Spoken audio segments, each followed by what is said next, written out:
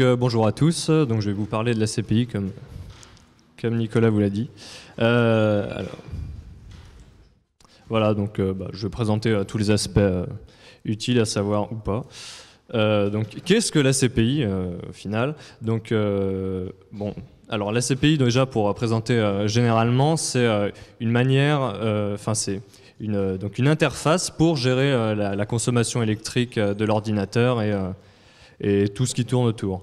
Donc euh, il faut savoir que euh, ça, fait suite à un, précédent standard, donc qui était l'APM, euh, que vous voyez à gauche, et donc qui, était beaucoup plus simple par rapport à ce qu'est la CPI. C'est-à-dire qu'en gros, la manière dont c'était fait, c'est-à-dire que c'était au, matériel d'exécuter les toutes les, toutes les méthodes, toutes les routines afin de gérer la, consommation électrique. Donc euh, d'un point de vue du kernel et du système d'exploitation, euh, tout ce qui, tout ce qui, avait à être fait, c'était euh, donner des ordres au, matériel et lui faisait tout automatiquement. Donc c'était beaucoup plus simple à, implémenter du point de vue du kernel, mais en contrepartie, on n'avait pas le détail de ce qui était fait, on n'avait aucun contrôle en, tant que, en tant que système d'exploitation. donc, donc pour faire suite à ce, précédent standard, il y a la CPI donc, qui a été, euh, euh, créée en 96 et donc qui, euh, qui qui, fait un peu l'inverse, c'est-à-dire que c'est au système d'exploitation de, faire toute l'exécution du contrôle du matériel pour, bah, pour la gestion de l'énergie, etc. donc, donc qui, enfin, comment dire. Euh, bon, je vais vous expliquer de toute façon comment ça marche.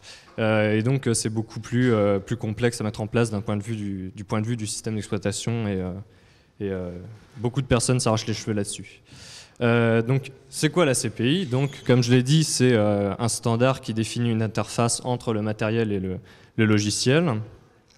donc, donc pour, dans le but de gérer l'énergie, euh, de, contrôler un peu euh, tout, ce qui est la, la, température, la consommation électrique, euh, réguler le, les ventilateurs par exemple, etc. Mais en fait, le, standard est tellement complexe que on peut faire des choses beaucoup plus avancées avec. Donc, on peut prendre par exemple le plug and play. Donc, euh, a priori, le noyau Linux est en train d'essayer de, migrer toute la partie euh, plug and play, donc des, appareils, vers la CPI. Donc, c'est pas vraiment son rôle, mais on, peut lui faire, lui faire faire ça. Et donc, d'après la doc de Linux, c'est ce qu'ils essayent de faire. On peut aussi donc avoir une description précise du matériel par la CPI. on peut s'en servir comme gestionnaire d'événements généraliste, donc à la base, c'était pour, euh, pour la gestion de... Si on appuie sur le, bouton euh, d'arrêt de l'ordinateur, le système d'exploitation voit ça, euh, et, donc il, éteint les processus et il se met en veille.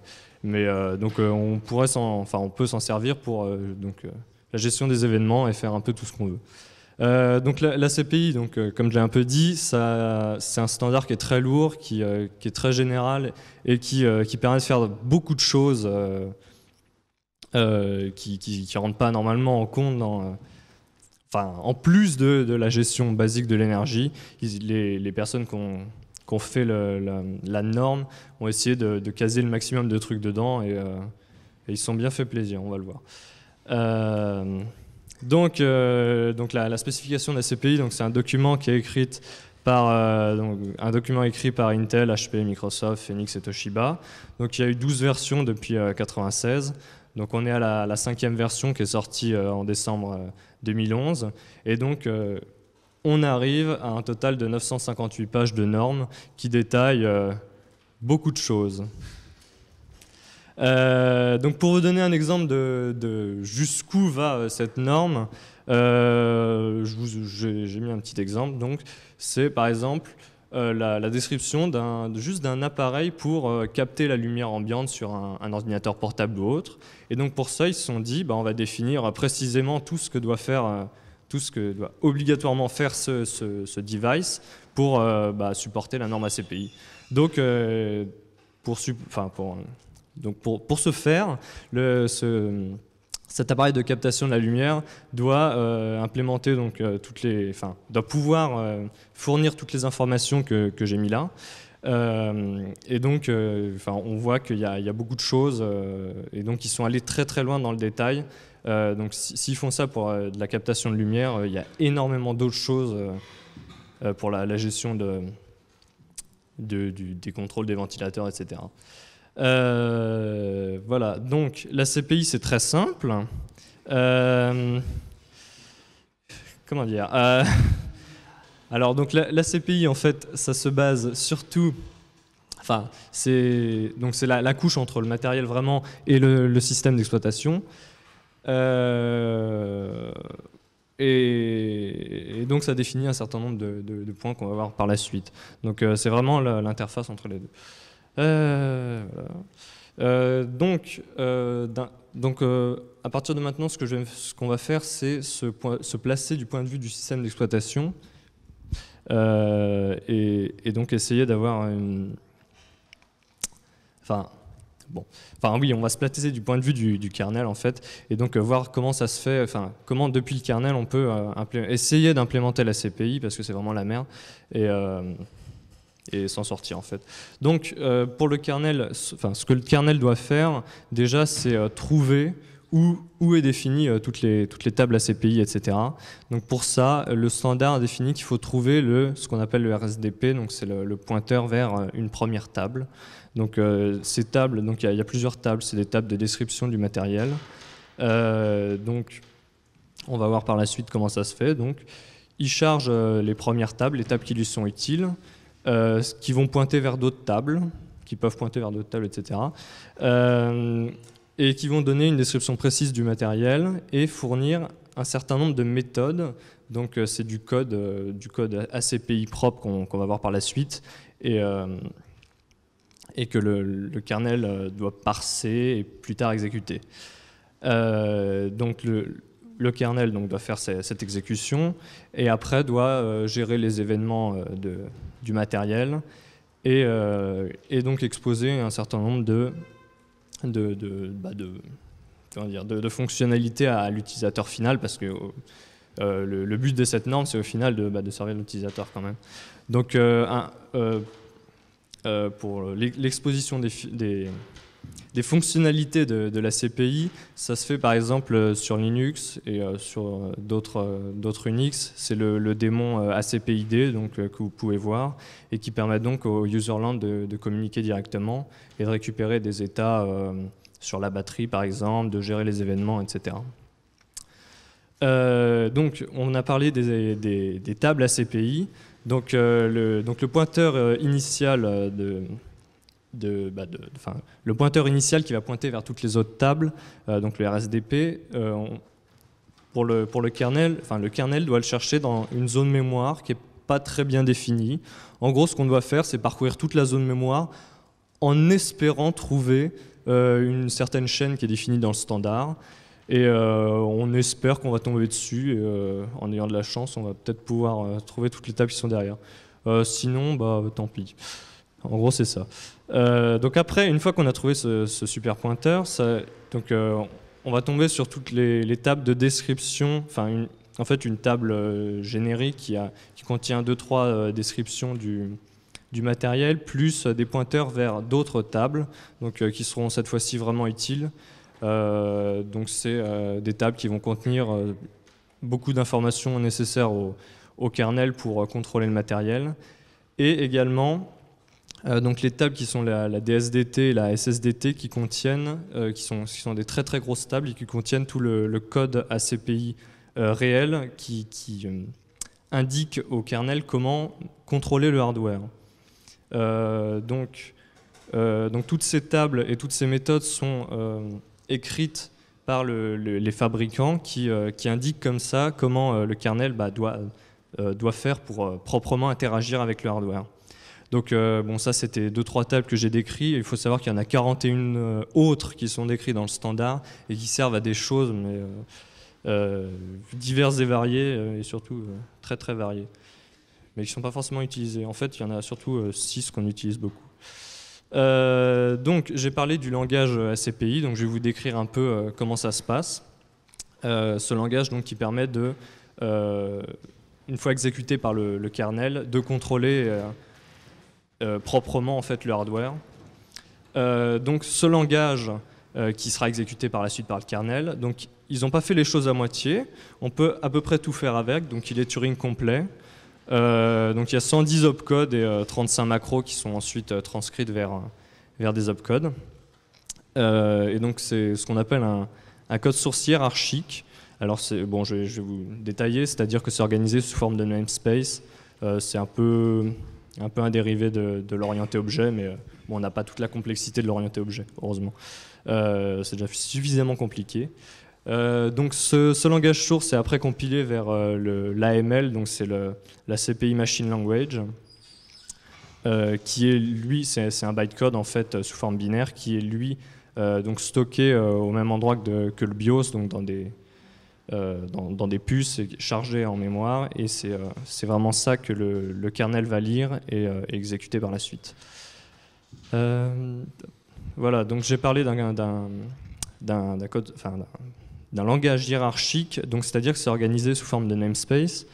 Euh, on peut définir, euh, on peut définir des, bon, déjà des namespaces génériques dans lesquels on va, on va caser énormément de choses, euh, mais on, on, peut définir des, enfin des, comment dire, des, namespaces avec, plus avec une, une, une auquel on va attacher une valeur sémantique, c'est-à-dire qu'on peut définir un espèce qui va être une thermal zone, euh, donc une, zone euh, de, température. On peut définir un, device, on peut définir un processeur, et donc, ils seront donc ces, sous-namespaces seront identifiés clairement.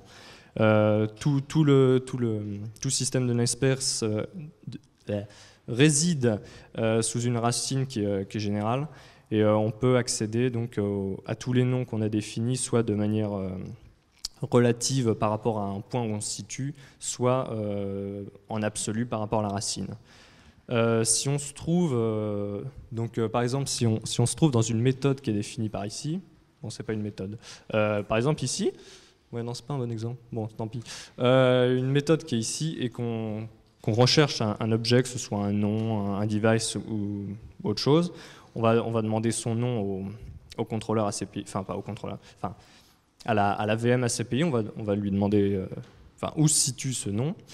Et euh, à ce moment-là, enfin, de manière relative, donc, euh, c'est-à-dire qu'on va juste spécifier son nom sans, sans tout le chemin complet, alors la, VM va remonter tout l'espace de nom jusqu'à la racine.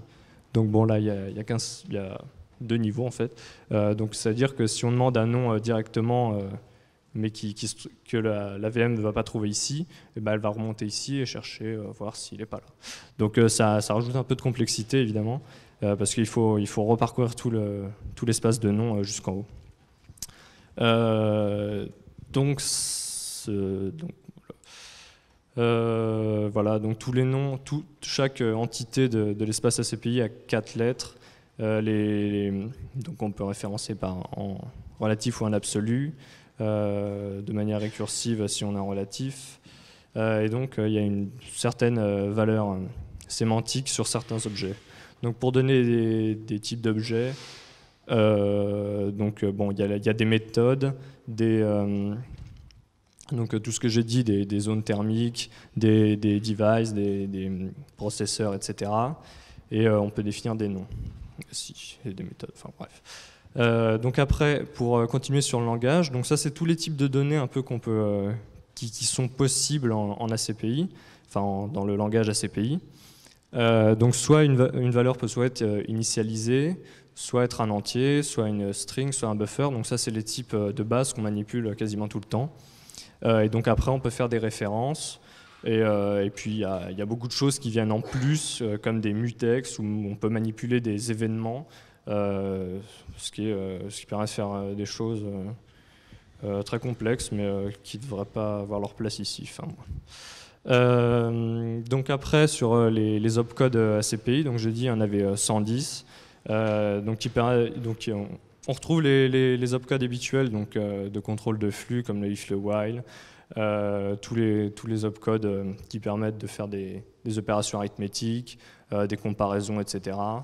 après, il y a d'autres opcodes qui permettent de, manipuler l'espace de nom, d'autres qui permettent de manipuler les types, d'autres en fonction de la mémoire. il y a vraiment beaucoup, beaucoup de choses. donc je, je, vais vous montrer un petit exemple. Donc ça, c'est une, fonction ACPI, donc pour voir à quoi ressemble le langage. Euh, donc ça, c'est un strcmp qui est un peu moche. Euh, donc, alors, pour vous expliquer un peu, euh, donc, en gros, dans, le langage ACPI, on ne peut pas demander la valeur, comment dire, la, le, enfin, depuis une, une, string, donc une, chaîne de caractères, on ne peut pas avoir un caractère comme en, C et y accéder directement. Euh, du coup, on ne peut pas checker, par exemple, euh, bah, que la string se finit bien par backslash 0. Euh, du coup, on est obligé, bah, avant d'obtenir la taille, donc la taille d'une string, il faut donc c'est size of la string, donc là c'est l'argument qui, sera passé à la fonction, la arc0 arc1. donc on récupère l'argument, après bon, on, regarde lequel des, deux arguments est le, plus court, et on fait la boucle dessus, voilà, on, compare la valeur, enfin quelle, string est, enfin si les strings sont égales, et puis on retourne en fonction de ça. Euh, un détail intéressant à remarquer, c'est que donc, dans, tout, dans tout ce code, si on, si on exclut euh, donc, le nom de la fonction qui est ici et euh, les éventuels flags, donc ça c'est le nombre de, paramètres que peut avoir la fonction, tout le reste dans cette fonction, ce sont des opcodes. Donc on, on, peut tout faire qu'avec des opcodes. tout le reste donc, sera, traduit directement en opcode. Euh, ce qui est un peu impressionnant. Même les valeurs constantes comme 0 et, 1, donc on peut voir là, donc il y a un 0 et un 1 par exemple ici, euh, seront traduits directement en opcode. Bon, il n'y a pas des opcodes pour euh, tous, les, entiers, hein, je vous rassure, mais ils, ont, ils en ont prévu pour 0, 1, et donc il y a une valeur qui s'appelle ones, c'est 0xFFFF, donc rempli de 1, ce qu'on soit en 32 ou en 64 bits. Parce que oui, évidemment, il y, a, une spec pour la version 32 et la 64 bits qui est différente, évidemment. Enfin, la majorité est, pareille, mais euh, il y a des détails qui changent et c'est pénible à gérer. Euh, donc après, alors, bon, une fois qu'on a vu euh, donc cette super fonction qui est relativement moche, il y a des opcodes partout, on ne comprend pas grand-chose. Donc alors, il faut savoir que le langage ACPI est relativement haut niveau et et permet de faire des, choses. Enfin, les opcodes permettent de, faire beaucoup de choses. Euh, donc, pour prendre un exemple de cette fonction, euh, enfin les, bon, les opérations logiques. Euh, bon, Le, langage ACPI est relativement complexe et donc, les, par exemple, les opcodes de, comparaison logique permettent de travailler à la fois sur des entiers, des chaînes de caractères et des buffers. Alors, sur une chaîne de caractères, bah, en fait, l'opcode euh, va, va réaliser un strcmp, par exemple, si on, si on lui demande un égal, un, un equal. Euh, donc, par exemple, la fonction précédente bah, peut être remplacée par juste cette ligne. C'est assez surprenant la, première fois qu'on voit ça. Donc, de ce point de vue-là, c'est un peu plus haut niveau que le C, par exemple. Euh, après, donc sur les, types, en fait, il y, a des, castes implicites euh, à peu près partout, c'est-à-dire que en fonction de la valeur qu'on veut, on va caster le type et euh, ça, marche à peu près de tous les types vers tous les types avec bah, vraiment des comportements au niveau. Donc si on caste un, une string vers un entier, bah, ça va faire un, un, par exemple. Euh, si on fait dans l'autre sens, bah, ça va faire un, printf, donc ça va formater bien. Euh, si, on, si, on, convertit d'un buffer vers une string, euh, on va avoir un beau 0x machin, 0x machin pour, tous les, pour toutes les valeurs du buffer. Donc après, on a, l'opérateur par exemple sizeof qui n'est pas du tout comme le sizeof du C pour qui renvoie la, taille du type. Non, ça marche sur, sur les strings et les buffers. Ici, ça renvoie la, longueur, donc ça sert de strlen aussi, c'est cool. Et alors il y a un opcode qui est, assez marrant, donc c'est un match, ça fait euh, plus ou moins, euh, bon c'est pas du pattern matching, mais euh, c'est entre le switch et le, pattern et le pattern matching. En gros, ça va appliquer sur donc un, buffer source, enfin pour tous les pour tous les, les, valeurs du buffer source, ça va donc faire cette opération. Donc ça va, faire, ça va faire deux comparaisons en fonction des opérations qui lui, des, des, opérations euh, de comparaison qui lui sont passées. ça va faire les deux comparaisons en un coup, et si ça trouve une malheur qui, qui vérifie bah, cette, cette relation que j'ai écrite là, là en bas, bah, ça va renvoyer l'index. Donc on, se demande un peu à quoi ça sert d'avoir, de faire bah, les deux opérations séparées par un et, et bah, je ne sais pas, mais c'est utilisé et c'est étrange. donc après, pour parler un peu de la, euh, de, la, compilation même de, ce langage qu'on a vu, donc, qui, est, encore représenté en haut. Donc là, là j'ai mis euh, le strcmp qu'on vient de voir un peu compressé pour, euh, pour avoir la place. Et j'ai rajouté une méthode bidon qui s'en sert donc avec, enfin, en comparant son argument avec la chaîne foo. donc on va voir un peu la compilation donc de, ce, langage initial vers le bytecode AML que après en tant que kernel on va passer parser directement. Donc alors il faut savoir que la compilation est faite euh, de manière très très simpliste, c'est-à-dire que le compilateur, bon, il, va, il va remplacer les macros qu'il connaît, euh, il, va, il va compléter, alors oui, il faut savoir aussi qu'en dans le, dans le langage ACPI, donc le, les, les opcodes euh, peuvent avoir des paramètres facultatifs, et heureusement le compilateur va remplacer les paramètres par défaut, on n'a pas à gérer ça en tant que kernel. Euh, donc après, euh, une fois qu'il a fait ça, il va juste sérialiser tout le code qu'il a là euh, de manière relativement bête, sans trop de séparation. Alors, donc, au début, on a tout ce qui est les, headers du fichier pour décrire un peu la table en fait. Donc, bon, on peut remarquer là, c'est donc il y, a le nom du fichier qui sera généré. globalement, il y a l'identifiant de la machine, un numéro de série. Et ensuite, donc, on va trouver euh, notre, notre première méthode, euh, déclaration de méthode, ici, donc, avec le, enfin, l'opcode méthode qui correspond à 14 et qui définit réellement une méthode. Euh, donc, juste après, on va voir sa longueur, en gros, et, donc différents machins. ce qu'on peut remarquer, donc, par exemple, alors, donc après, la seconde méthode, elle est définie ici. Et donc on, a, on, peut remarquer ici donc le, return 1 euh, qui est juste avant. Donc le return ce sera un A4 et le, le 1 donc sera traduit, euh, oui évidemment c'est un opcode, donc qui est traduit vers 0, enfin 0x1. Euh, donc on peut, on peut, remarquer déjà qu'il n'y a absolument aucune séparation entre la définition des deux méthodes. donc ce qui est extrêmement pénible une fois qu'on est, quand on a une table comme ça à parser en tant que kernel, parce qu'il faut vraiment par, partir du début et euh, ne pas se louper jusqu'à la fin de la table. Euh, sinon, on est perdu et on, lit n'importe quoi. Euh, donc heureusement, bah, la taille du, corps des, méthodes est précisée juste après, donc ça pose pas trop de problèmes, mais faut pas, faut pas, faut pas se rater quoi. pareil, une, dans les, dans les, les, opcodes qui correspondent à des contrôles de flux et qui comportent un corps, comme ici par exemple, euh, à chaque fois il y aura la taille de préciser. Euh, alors pour les, arguments donc, des opcodes, c'est exactement pareil, c'est-à-dire qu'on va avoir, donc, euh, par exemple si on prend l'exemple du while là, qui correspond à l'A2 qui est ici, donc juste après on a donc la taille du, du corps du while, qui sera ça là, donc deux voilà. Et donc juste après cette taille, on aura directement les arguments de la fonction. Euh, donc qui correspond ici à un land, less, donc, euh, qui correspondent à ces deux opcodes. Euh, oui, alors si... Hmm, oui, alors pour un, excusez-moi, un comportement assez pénible, c'est que pour les, appels de méthode comme ceci, ce qu'on a, c'est directement la string qui correspond au nom de la fonction, euh, directement dans le code qu'on va retrouver après, donc euh, le return qui correspond à, à cet A4. Euh, et juste ici, en fait, on a le nom de la string directement, donc SCMP. et donc, il n'y a pas de, de, comment dire, de caractère d'échappement qui correspond à l'appel d'une fonction.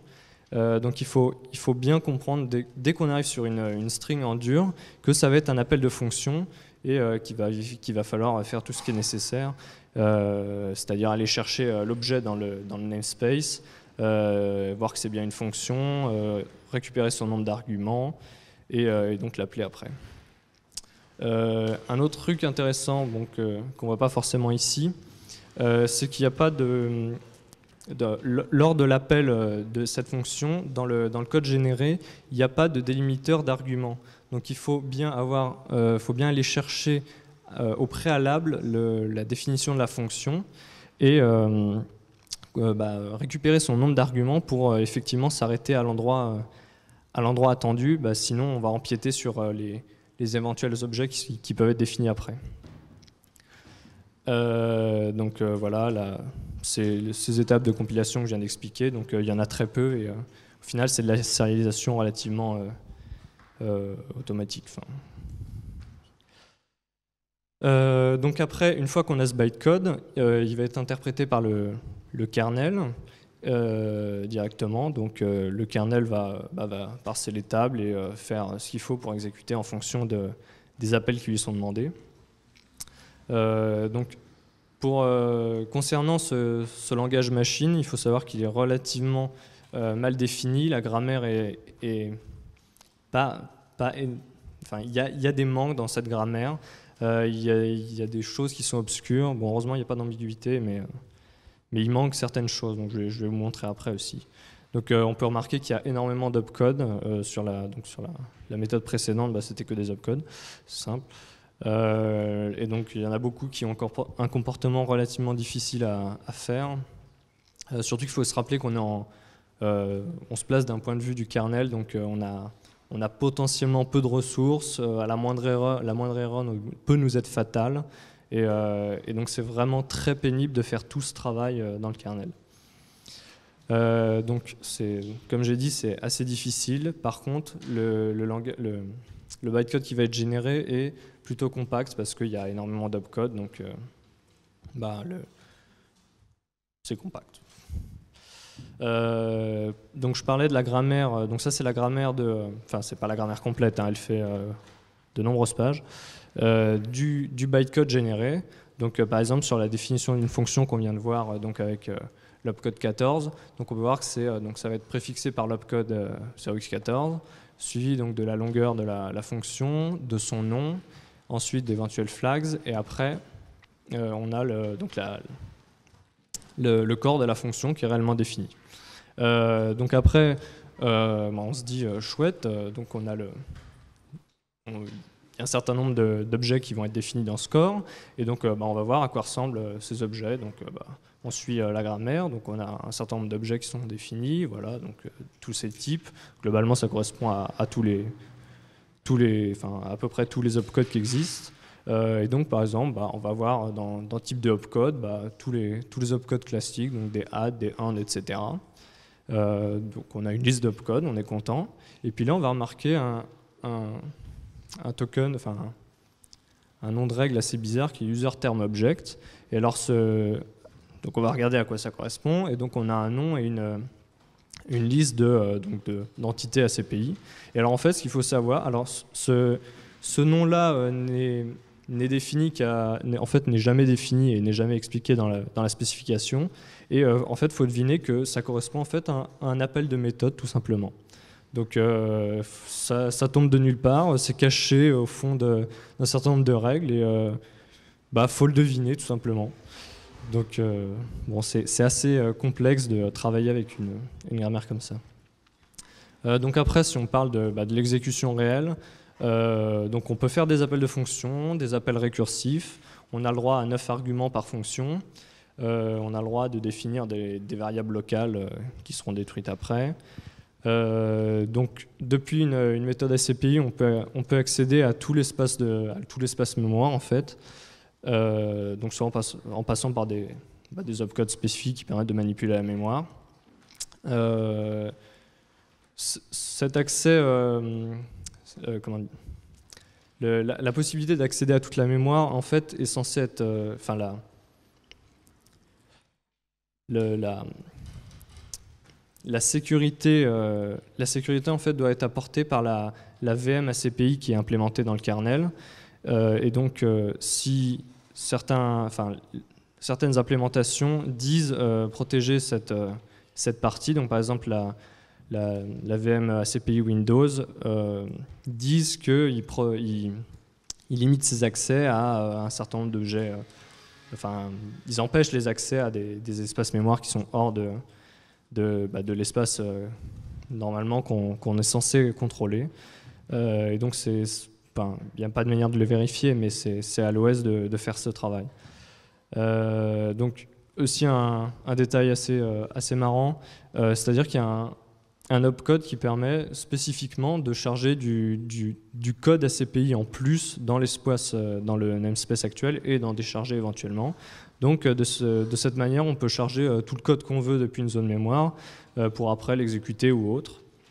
Et donc alors, on, je sais pas, en fait ce, système n'est jamais utilisé. Peut-être que ça avait été prévu pour faire du plug and play. Donc si on plug une clé USB, euh, charger euh, des tables ACPI en plus euh, pour contrôler précisément ce device. Je sais pas, mais ça permet de faire des trucs marrants peut-être. donc après, pour la, communication entre le, kernel et, et le, matériel, la, norme définit un certain nombre de, trucs, enfin de, mécanismes. donc euh, pour ce qui est de la communication du, du, kernel vers le hardware, euh, donc les, les, les, tables ACPI fournissent au kernel, donc que le kernel va, va charger euh, au démarrage de la machine, lui fournissent un certain nombre d'informations qui permettent au, kernel spécialement de, le, bah de, contrôler ce matériel. par exemple, il y a certaines tables qui définissent les, tous les ce qu'on appelle les registres ACPI, c'est-à-dire des, zones mémoire bah, dédiées à la CPI, euh, qui permettent de contrôler en, mettant des valeurs dedans ou en lisant, et qui permettent donc au, au kernel bah, de, contrôler le, matériel comme ça. Euh, ce, que le kernel peut faire également, c'est appeler des méthodes ACPI euh, donc de, sa propre initiative. Donc, il y a un certain nombre de, de, méthodes qui sont définies dans le standard si on prend un exemple, euh, on, va, voir un. Euh, donc la, la, table ACPI va définir un, appareil et euh, va définir à l'intérieur un certain nombre de méthodes. Et donc, dans, ces méthodes, certaines auront un nom standard et permettent de, bah, au kernel de, dire enfin, le kernel va appeler ces méthodes et pour, enfin, dans certains cas précis, par exemple, si on va euh, si le, système d'exploitation doit mettre la machine en veille, elle va appeler bah, les, méthodes dans tous les devices qui correspondent à la mise en veille. Et donc, on espère que le, fabricant a fait le nécessaire dans ces méthodes pour euh, éteindre, euh, enfin, mettre en veille tous, les, tous les appareils. Donc, une fois que le, matériel a fait ça, il va mettre en veille la machine de manière générale.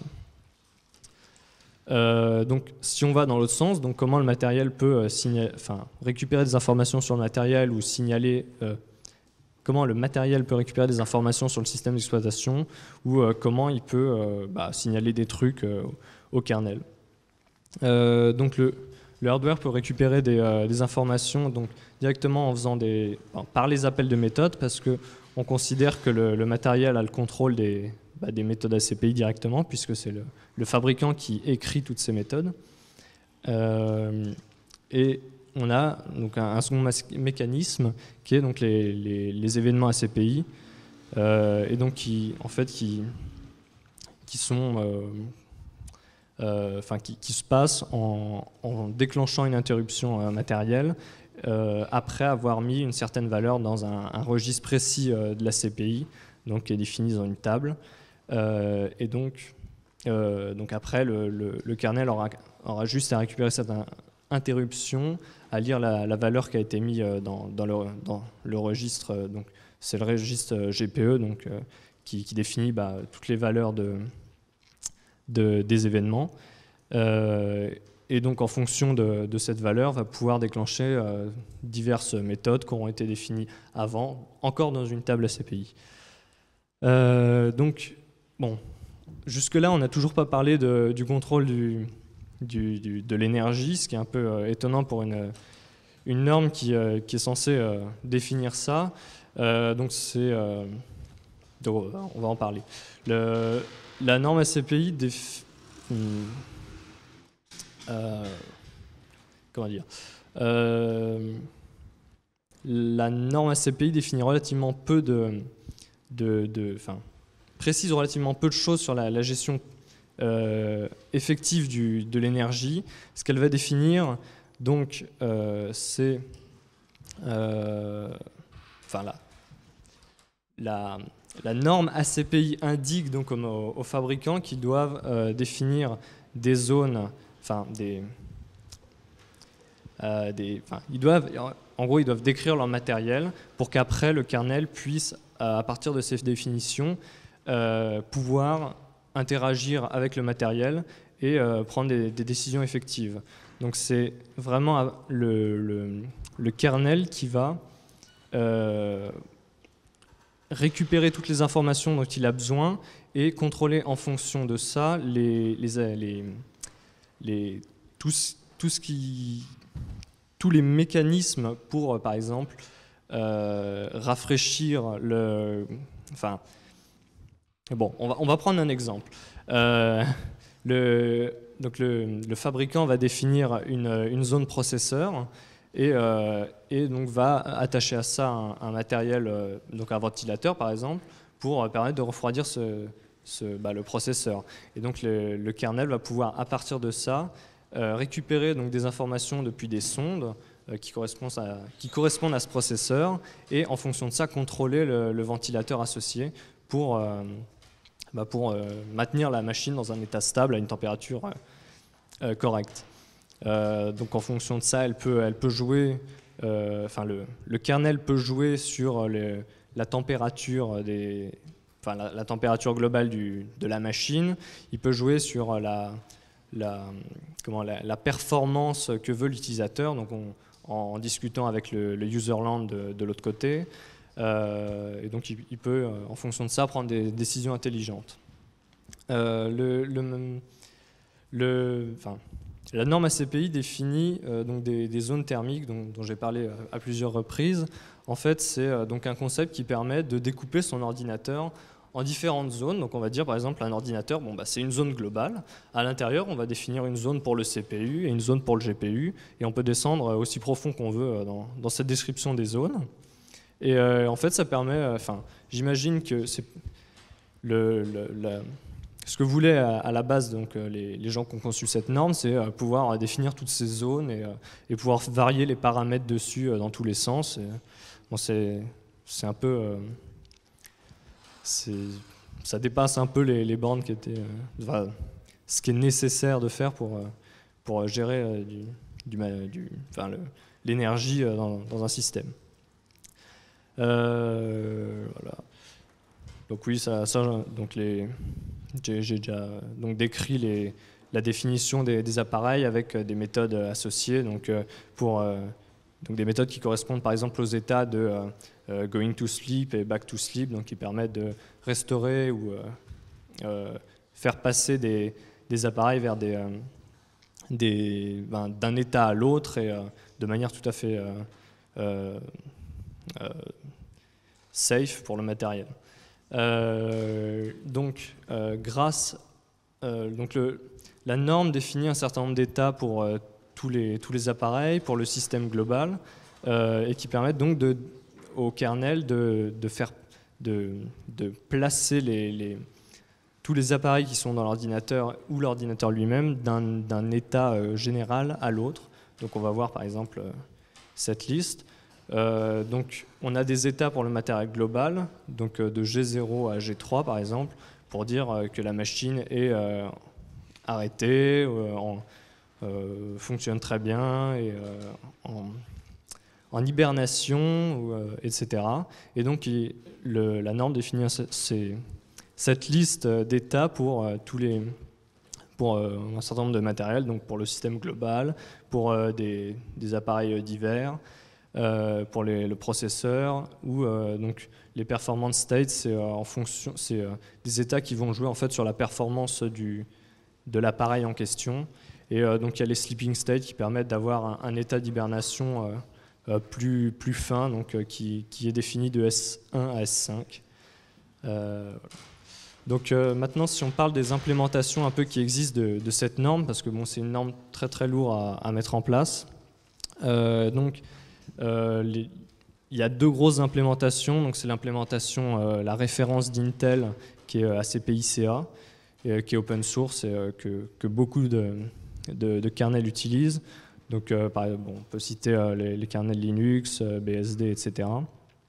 et donc beaucoup de, kernels indépendants essaient d'intégrer au sein de leur, leur base de code euh, puisque c'est l'implème euh, de référence. Euh, par contre, donc, cette implème est, indépendante du, kernel, elle n'est pas attachée à un kernel particulier. Par contre, elle demande bah, évidemment une, interface avec le kernel qui est relativement poussée. donc, il, est nécessaire dans le kernel d'implémenter un grand nombre de méthodes pour, bah, pour récupérer les informations depuis la VM à CPICA ou lui envoyer des, des ordres. Euh, il y a également l'implémentation de Microsoft, donc qui euh, tourne sur tous les, les Windows, euh, et donc qui est bah, une implémentation alternative qui marche plutôt bien. ce qu'il faut savoir, c'est que souvent, l'implémentation de Microsoft ne respecte pas le standard, enfin pas souvent, mais dans un certain nombre de cas, et donc ça pose des problèmes parce que souvent les fabricants préfèrent bah, définir leur, leur table ACPI et écrire euh, toutes les méthodes de manière à ce qu'elles marchent sur euh, l'implémentation de Microsoft plutôt que celle qui est prônée par le standard. Et donc, euh, ce, qui, ce qui donne de gros problèmes une fois, une fois qu'on se trouve sur un, OS qui, qui n'utilise pas l'implémentation de, Microsoft. Donc, ça donne de, des, problèmes de, donc, qu'on peut voir dans les, ordinateurs portables, par exemple, qui ont du mal à se, à se refroidir certains, certains, certains comportements euh, attendus pour euh, la, mise en veille, etc., ne fonctionnent pas, ou la, reprise après hibernation, etc. Euh, et donc il y a un certain nombre d'essais indépendants qui ont été faits d'implémentation de, de, la CPI, donc, dont celui que j'ai développé donc, que, au sein du laboratoire.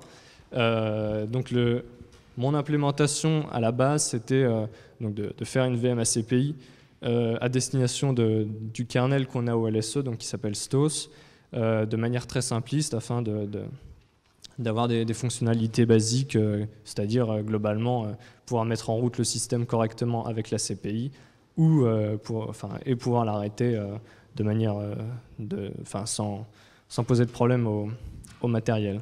Et donc au, final, j'ai un peu changé mon objectif euh, en cours 2, euh, c'est-à-dire que je suis passé à une, euh, implémentation qui serait indépendante du système d'exploitation et donc qui implémente tous les, aspects de, la norme ACPI. Donc où, est-ce que j'en suis arrivé? Donc j'ai effectué le, parsing et l'interprétation de à peu près tous les opcodes et, donc de la table qui contient le, code ACPI effectif. Euh, et donc euh, l'exécution de, ces méthodes fonctionne euh, plutôt pas mal. Il y a encore bon, pas mal de choses à, corriger, etc. Et donc en gros, pour ce projet, ce qui reste à faire, c'est bah, l'implémenter dans, un vrai, dans un vrai noyau parce que ça n'a pas encore été fait. donc ça reste à faire. et intégrer la, gestion des événements auxquels j'ai pas du tout touché pour l'instant. Donc je vais, je vais laisser le mot de conclusion à notre ami Linus Torvald, donc dans une interview du Linux Journal, qui a décrit donc, euh, la norme ACPI comme un désastre complet dans, toutes les, dans toutes les mesures et a conseillé aux, aux personnes qui ont défini bah, ce standard de, de changer de métier. voilà, donc je trouve c'est un bon résumé, c'est-à-dire que c'est un standard qui est beaucoup trop beaucoup trop large et beaucoup, euh, beaucoup trop lourd. Donc 958 euh, bah, pages de, de, spécifications pour au final euh, juste indiquer comment le matériel doit s'allumer et s'éteindre. C'est un peu beaucoup. Est-ce que vous avez des questions? J'espère avoir été clair. Ouais, par rapport au fait que Windows, euh, l'implémentation de Windows soit différente de celle de, Intel, euh, est-ce qu'il y a un minimum de doc ou d'infos sur comment lui il gère ça pour euh, pouvoir faire pareil ou absolument pas? Non, pas du tout. Ah oui, c'est facile donc, ok.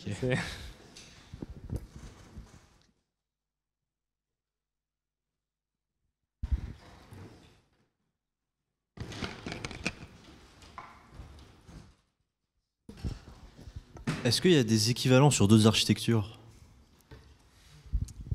Alors, un truc aussi complexe, euh, je crois pas. Euh, après, bon, évidemment, chaque architecture définit sa manière euh, bah, bah, de s'allumer et s'éteindre, au moins. après, bon, j'ai pas étudié, donc je peux pas te, répondre. Mais en tout cas, un système aussi complexe, qui est Turing complet, qui permet de tout faire, je ne crois pas.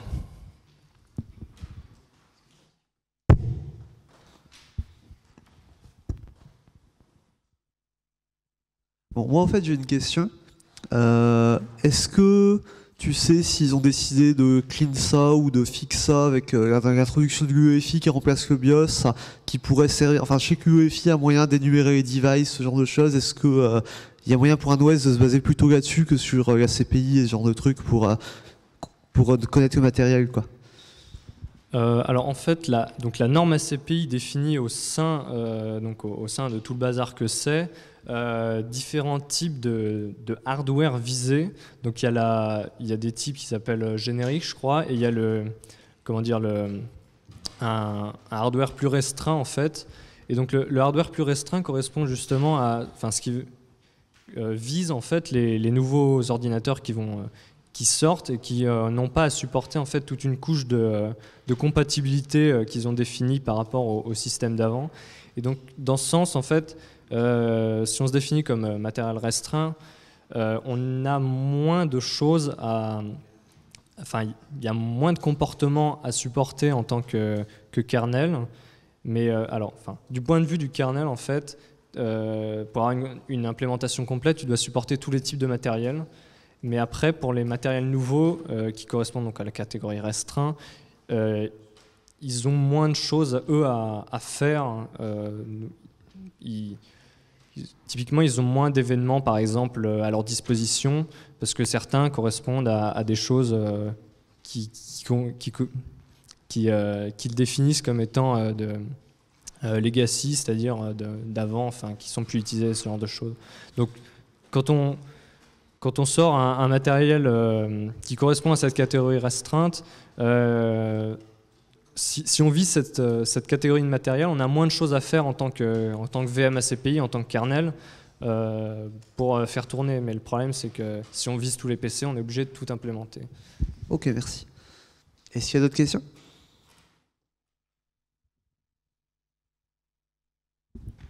Bah, Merci à vous.